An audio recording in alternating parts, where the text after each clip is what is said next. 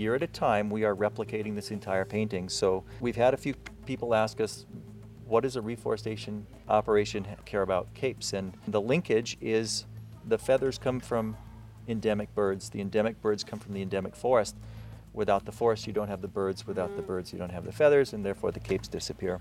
The first cape was completed and it was installed on Kamehameha Day at the Four Seasons Hualalai. And the idea is where people can be in contact with these things and understand just how important it is.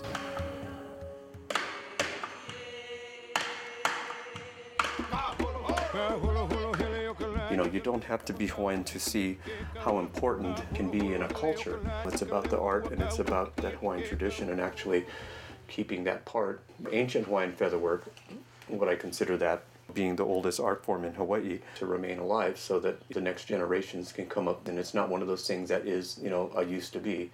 To put something together with natural feathers, with natural colors that would represent the native Hawaiian birds.